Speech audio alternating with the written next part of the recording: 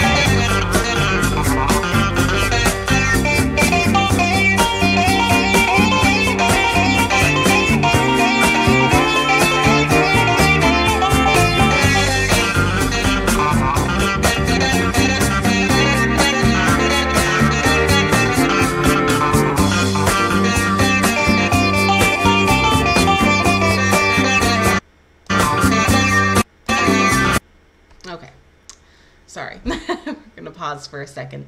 Um, this is really cool. Um, yeah. I'll look at the lyrics once we're done. Let's go ahead and finish the song.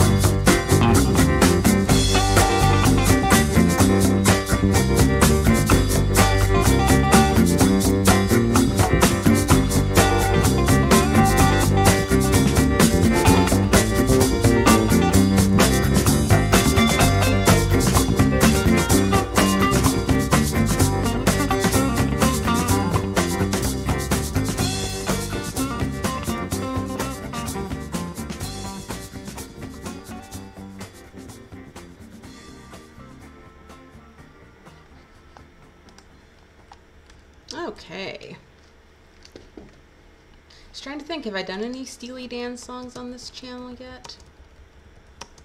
Part of me wants to say I did like one, and part of me wants to say I haven't done any yet. But I really enjoyed this one. Okay, in the morning you go running for the man who stole your water, and you fire till he is done in, but they catch you at the border. And the mourners are all singing as they drag you by your feet, but the hangman isn't hanging, and they put you on the street. Water is a stand in for anything and nothing at the same time. The point is that people look for fights and pick them whenever they can. The thing is, water can also be viewed as something essential for life, critical to survival, and very important. These first two lines would then indicate that it's not just the person's fault. It's the way it's the way that it works. This sort of sympathy can also be seen in the first two lines of the second verse. Then you find your only friend, suggests that the subject is lonely and can't help wanting to be with someone, even if they know that it's bad for them. And then when you find yourself in Vegas, as any addict knows, sometimes it seems like the forces of the world are just beyond your control and force you back into the safety of old habits. With revenge in mind, the POV kills for nothing in return and runs, only to be caught it's to show that you can't run from your past. It always finds you. Double entendres mean the executioner isn't available and capital punishment is not warranted. He's such as he's such a useless character that he wasn't even worth the police's time, so they don't bother charging him. Yeah, you go back, Jack, do it again. Wheel turning round and round. You go back, Jack, do it again.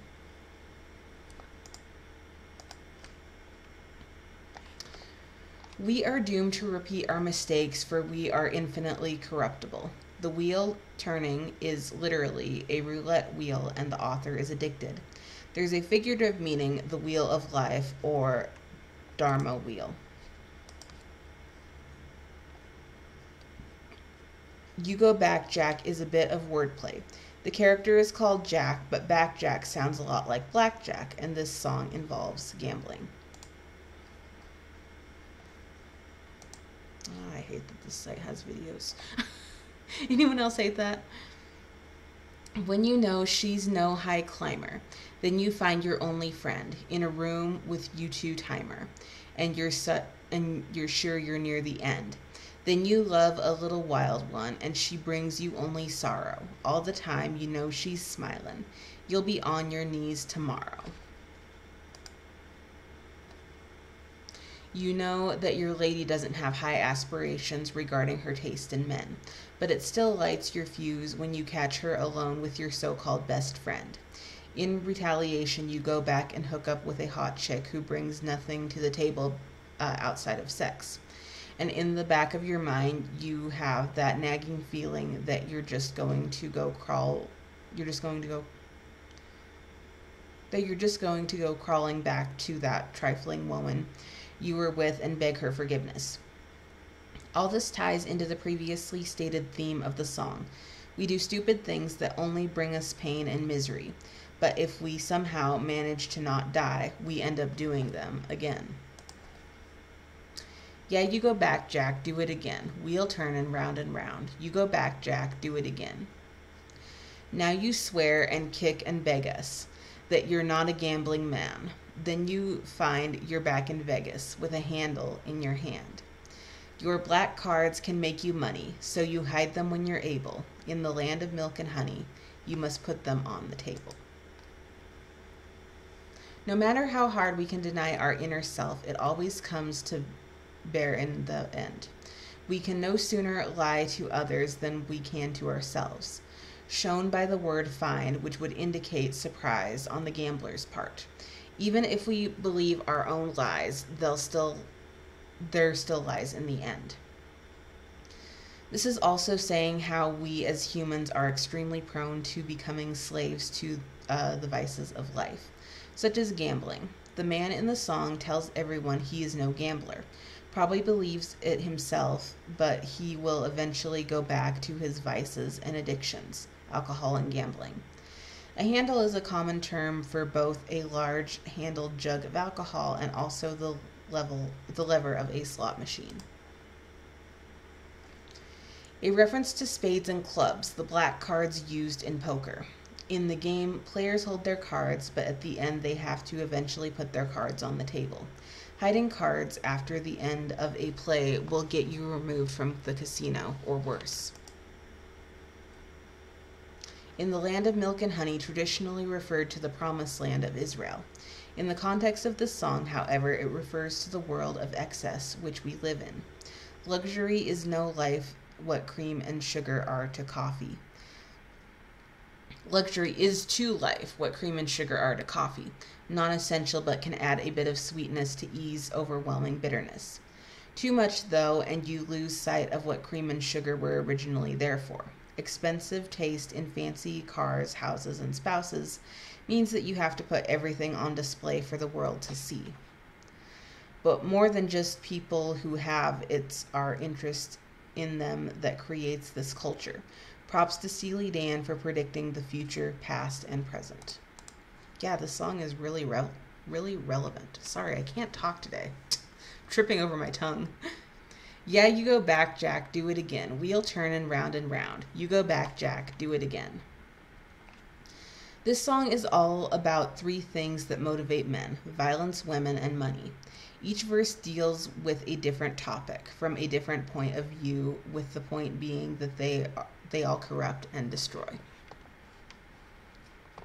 Very thought provoking, relevant song.